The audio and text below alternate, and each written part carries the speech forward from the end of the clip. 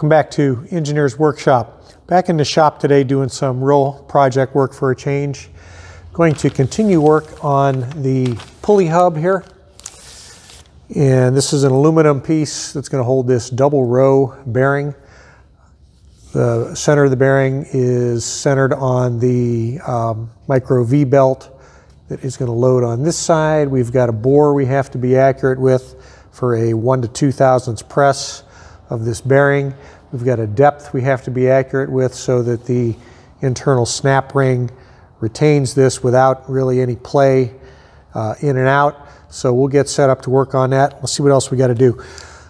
Um, been playing with the Quincy compressor and that runs okayish on the new uh, Huanyang VFD that I got, but runs better on the visually identical um, I think well, I'm trying to remember what the brand of that other uh, VFD is. They look identical, but um, internal board is a little bit different. But I'm going to just swap them out because it's easy enough to. So um, I'm going to put the my IV stand VFD mounted on the uh, wall dedicated for the Quincy compressor and put the other one on the roll around stand so I can run like the Acroturn lathe with it and uh, we'll just see what else we can get accomplished. My son helped me get the weather enclosure down from around the K&T, which was torn to shreds from high winds on and off. Uh, so I got to rebuild that and get that back around the uh, K&T. The dust is already starting to accumulate on it, so I got to get that taken care of. Don't know if I'll get that done this week, but let's just see, you know, how far we can get. So we'll get started on this. Okay, I have my pulley hub set up. I've, I've left it set up here with uh, my C2 brazed carbide uh, boring tool. Now we've got to enlarge this bore to accept this double row bearing with a light press fit, couple thousandths press fit.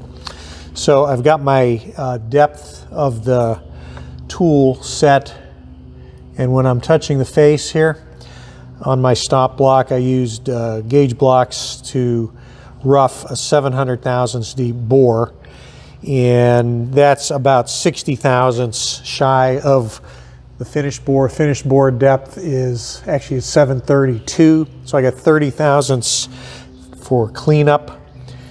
And uh, I'm going to take a couple passes, see where I'm at, work my way out, and I'm going to leave about 30 to 60 thousandths on the diameter, and then I'm going to start measuring accurately with my um, sliding internal parallels.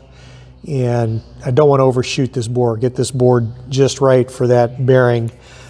And then I'll uh, finish clean up the depth and the OD, hopefully a couple thousandths at a time, and get a nice fit on this.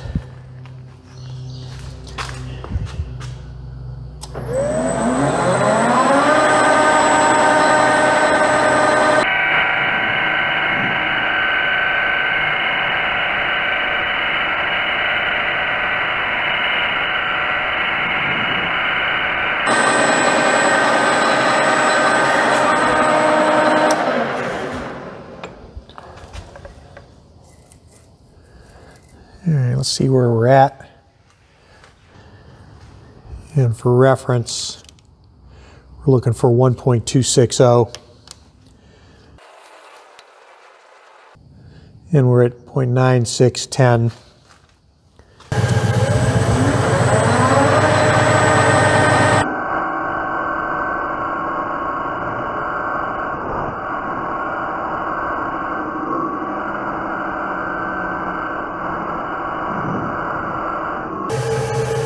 150 thousandths from my target.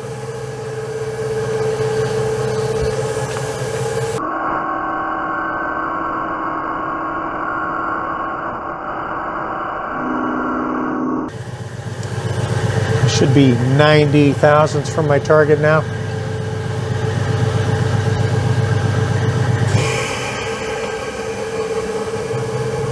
Excuse my math, 60 thousandths from my target.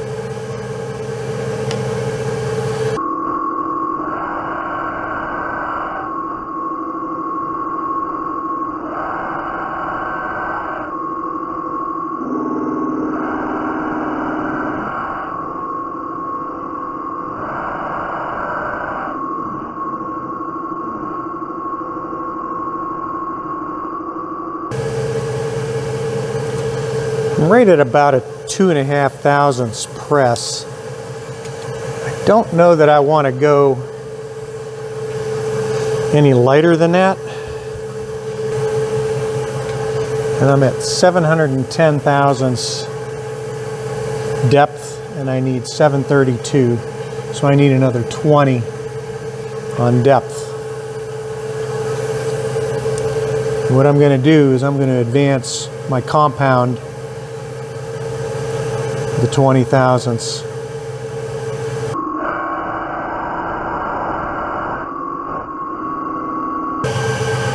Print calls for 732.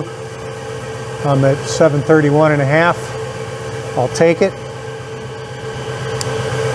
The next detail is a 51 thousandths uh, retaining ring slot and the OD of that is, the ID is 1.354. So I'm going to have to do some math here and see how, how deep that is from touching the side. For doing the groove, I've got a nice little tool here, solid carbide internal grooving tool.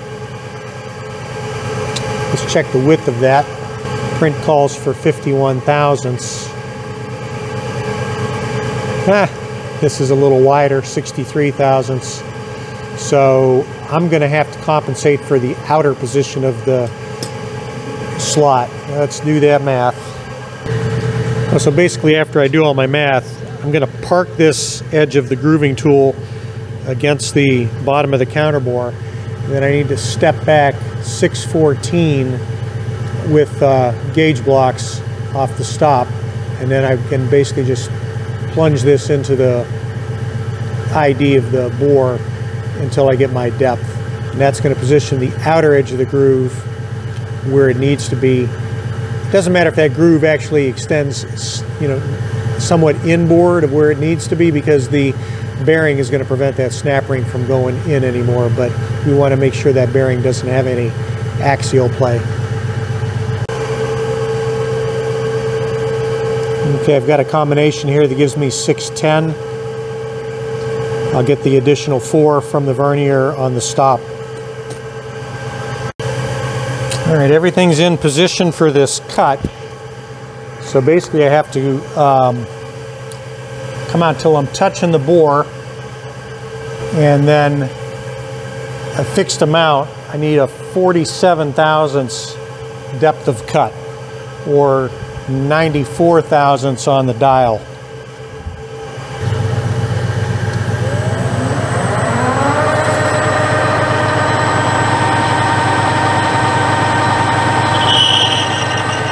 And we're contacting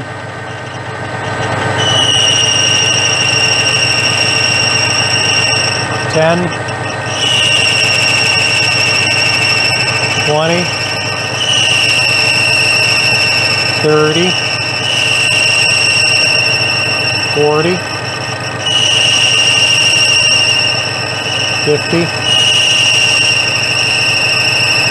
sixty, seventy, eighty. 90.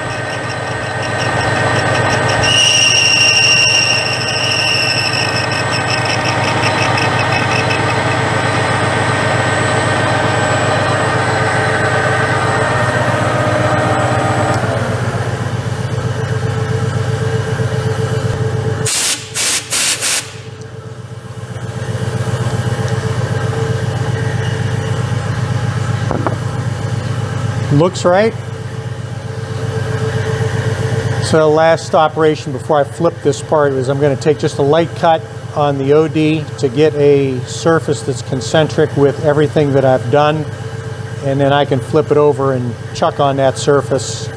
I don't know if, well, or I can grab over here and then uh, get the lengths and the features on the back side. My best option for getting in here is using a boring bar, running the lathe in reverse. And uh, I'm going to set up my stop here so I don't crash into my chuck. Clearance is clearance.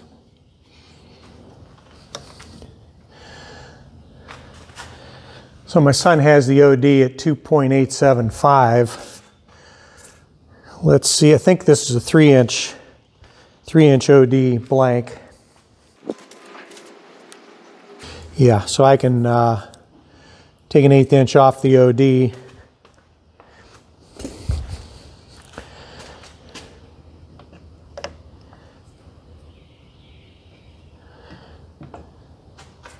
This will be a first for me running the lathe backwards.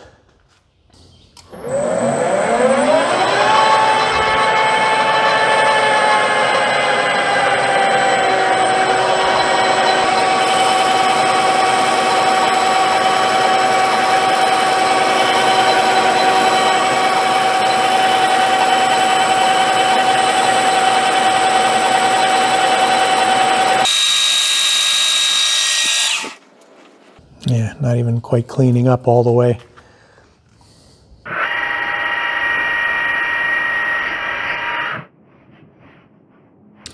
Two point nine seven nine, so I'm um, right at a hundred thousandths oversized. That's easy to deal with.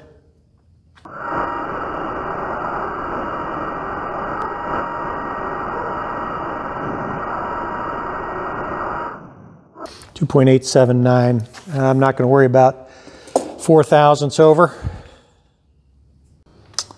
So we've got an overall height of inch and a quarter. I'm going to take the part out of the chuck, see how tall it is, and we'll know how much we got to face off of this side. Then there is a counterbore on this side, 2.563, and I believe that's for a you know two and nine sixteenths diameter um, flange diameter on the on the fan hub, which sits in there. So we'll do face the length and then do this counter bore. Then we're done with the lathe. Take it off, put it in uh, either on the rotary table or index it in the uh, K&T and put those four. Now we got to, we actually got to put four tapped holes on one side and three on the back, and one of them can be common. So that should be interesting.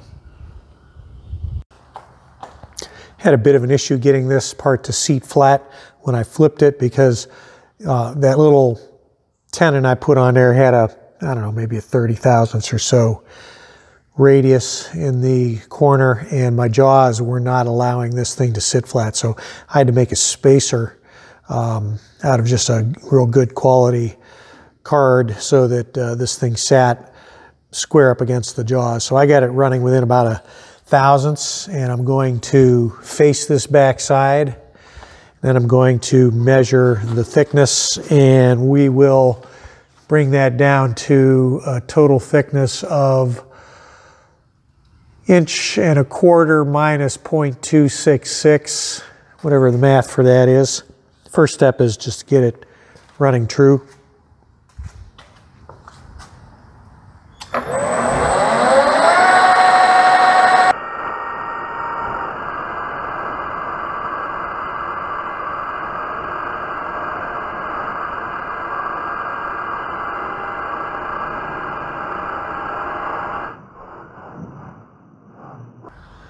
This needs to be 984. We're at 1.1875. About 200 thousandths coming off of that. Let's, let's go ahead and do, uh, let's try 50.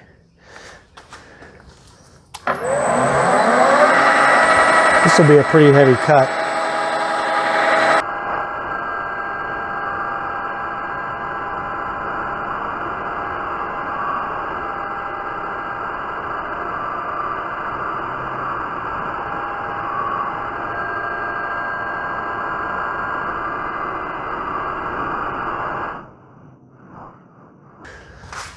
I'm exactly 51 thousandths from my target.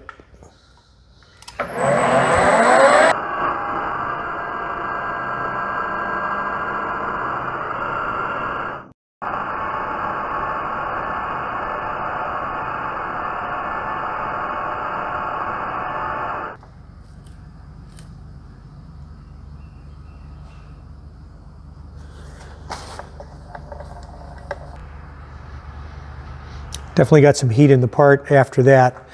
So that's probably a good stopping point. Um,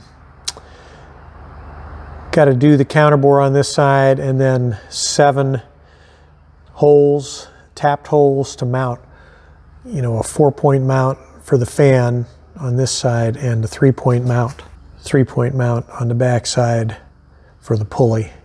And then this part is done. Nice pile of aluminum there from that operation. Well, we're getting close on this part, so uh, I'm pretty happy with the progress. It's getting a little chilly in the shop here. I think we got a cold front coming in, so I'm going to wrap it up for now, and uh, we'll keep working on this project over the uh, holiday weekend. I hope everybody has a good uh, Memorial Day weekend and uh, has some good uh, outdoor activities planned if your geographic location allows that. I know we're going to try to do our best to spend some time outside. So more next week with uh, more projects. Um, finish up on uh, Quincy compressor. Got you know 90 95 uh, percent of the way there with the new VFD running that. Very happy with that. So uh, catch everybody next week. Thanks for all the likes and subscribes. Appreciate uh, appreciate your interest in the projects here in Engineers Workshop. So uh, until next week, as always, stay safe.